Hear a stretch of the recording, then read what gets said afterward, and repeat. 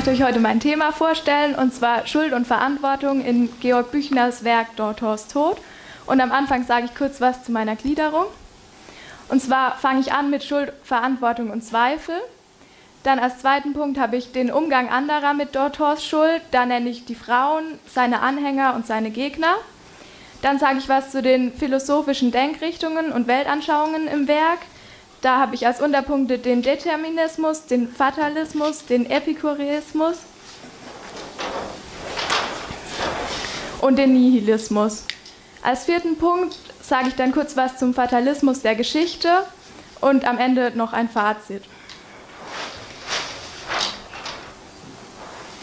Also ich fange an mit Schuld, Verantwortung und Zweifel. Und damit ihr noch kurz den Überblick habt, was diese Farben hier bedeuten, also alles, was in meiner Präsentation so rosa ist, bedeutet, also zeigt die Gleichgültigkeit von Danton zum Beispiel. Ähm, so orange oder so rötlich bedeutet, dass er sich verteidigt. Wenn er Angst hat oder wenn seine Anhänger Angst haben, ist es gelb. Und so Gedanken oder was er über seine Gedanken sagt, ist grün. Und wenn er etwas einzieht, dann habe ich es äh, blau markiert. Jetzt zum Anfang. Ich habe hier zwei Wörter dort stehen, einmal Schuld und Schuldgefühle. Und wie ihr seht, steht hier bei Schuld Gewissen und sittliche Normen. Was denkt ihr, wie diese beiden Begriffe ähm, im Verhältnis zur Schuld stehen? Also ob die da zutreffen oder nicht? Ja, Vanessa? Ja, ich denke, da wird ähm, gegen das Gewissen und die sittlichen Normen so angekämpft. Genau, also Schuld bedeutet, dass man freiwillig ähm, gegen die Moral, also zum Beispiel gegen das Gewissen oder gegen sittliche Normen verstößt.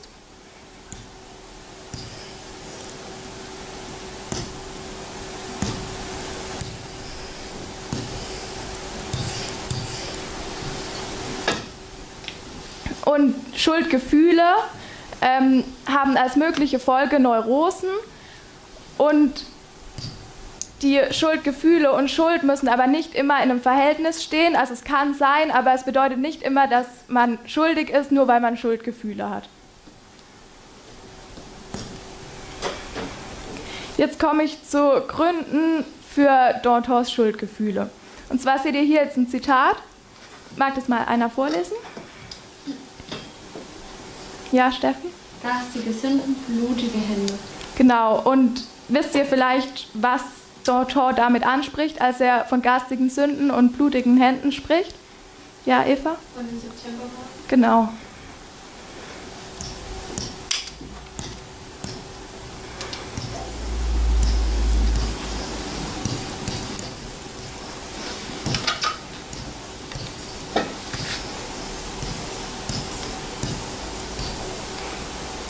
Und dann seht ihr hier noch ein Bild. Ich weiß nicht, ob ihr erkennt, was damit vielleicht gemeint sein könnte, warum er Schuldgefühle hat. Ja, Steffen? Ja, einfach die ganze Situation da. Genau, also die aktuelle Situation mit der Ter Terrorherrschaft und das wollte er ja auch nicht, dass die ähm, Revolution so endet oder so verläuft.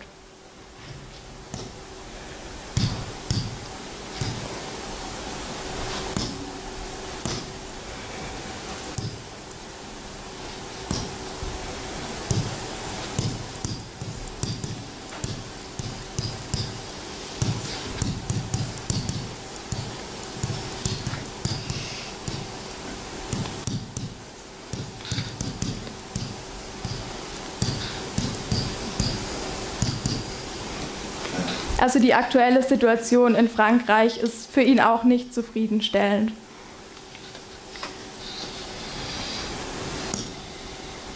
Jetzt seht ihr hier ein Bild und zwar sieht man da, dass er ja die Schuldgefühle hat. Also Danton ist in der Mitte und die Schuldgefühle nehmen ihn praktisch richtig ein. Und das kann man so darstellen.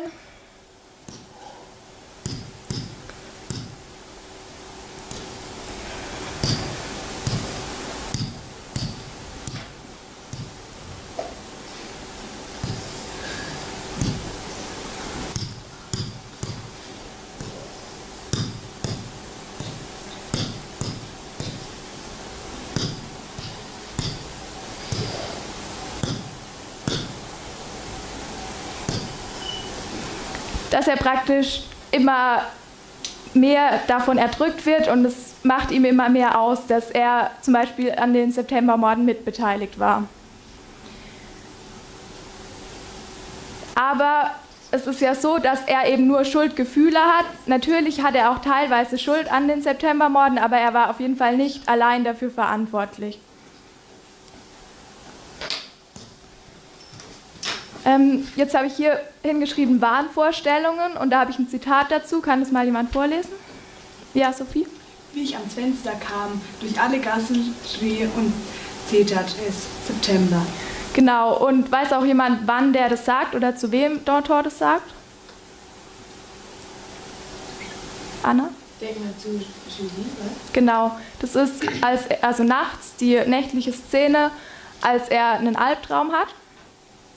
Und dann sagt er ihr, wie gesagt, dass er dass die Leute schreien hörte, September.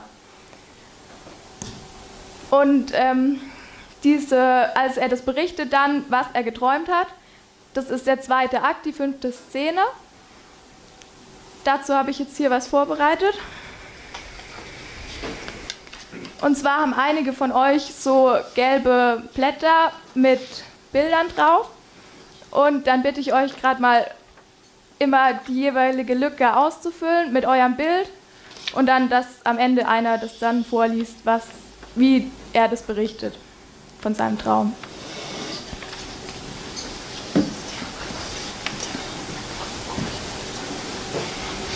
Ähm, unter mir keuchte die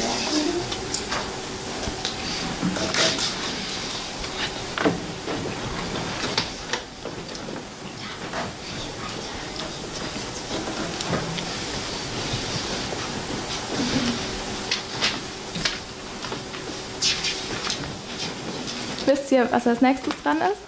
Was er als nächstes sagt?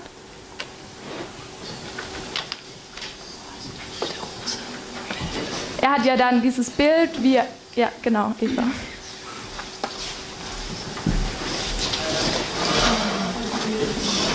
Ja.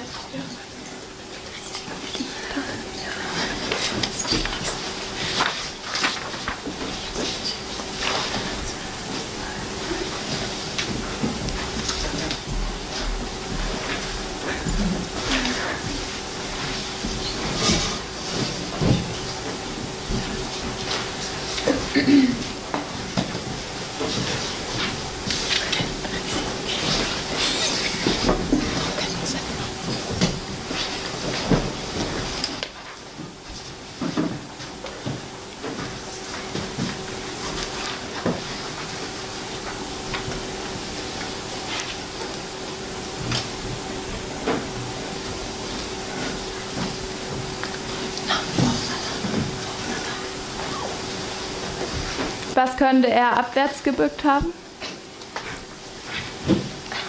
Ja.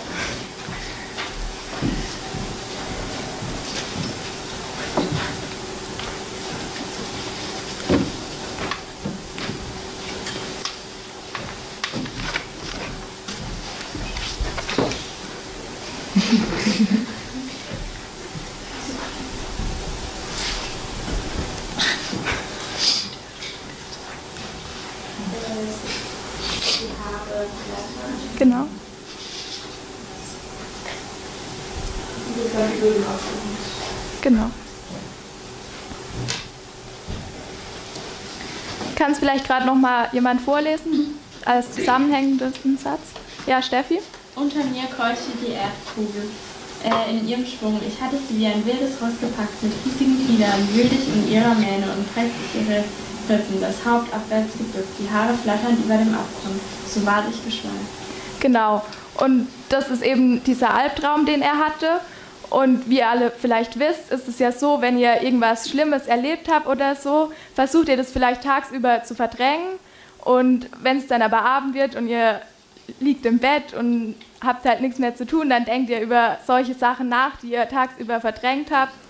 Und so verarbeitet er halt jetzt im Traum diese, diese, die Revolution, wie das verlaufen ist. Und zwar ähm, sagt er ja, unter mir keuchte die Erdkugel in ihrem Schwung. Also das ist praktisch die Revolution oder wie die ganze Situation in Frankreich ist. Und ich hatte sie wie ein wildes Pferd gepackt. Also das heißt, er ist zwar, also er hat zwar an der Revolution teilgenommen, aber es ist wie ein wildes Pferd, also es, er hat es nicht ganz im Griff. Und mit riesigen Gliedern ähm, wühlt er sich durch ihre Mähne. Also das heißt, er probiert irgendwie doch noch sich festzuhalten, aber er schafft es eben nicht ganz und ist dann abwärts gebückt und die Haare flattern über dem Abgrund, also er ist kurz vorm Runterfallen. Und ja, so ist es eben auch bei der Revolution. Er war zwar daran beteiligt, aber jetzt ist er halt nicht mehr so dabei und schafft es irgendwie nicht, die Revolution so zu lenken, wie er sie gern hätte.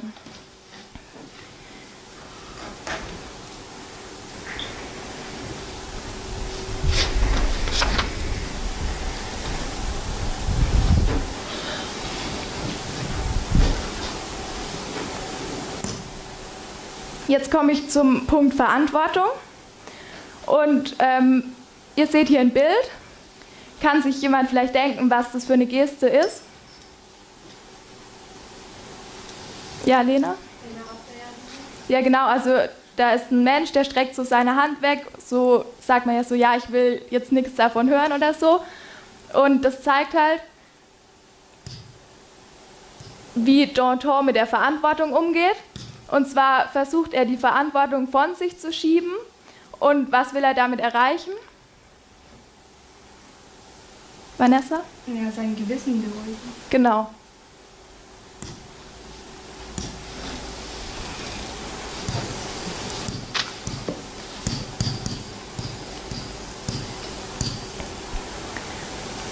Und das sieht man dann auch daran, dass er eben nicht so viel Verantwortung übernehmen will, dass er politisch eher. Steffi? Passiv. Genau.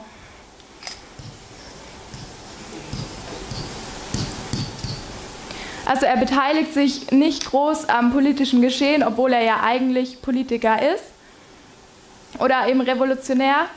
Und ähm, dadurch versucht er halt, das nicht so an sich ranzulassen, damit es irgendwie noch Abstand von ihm hat.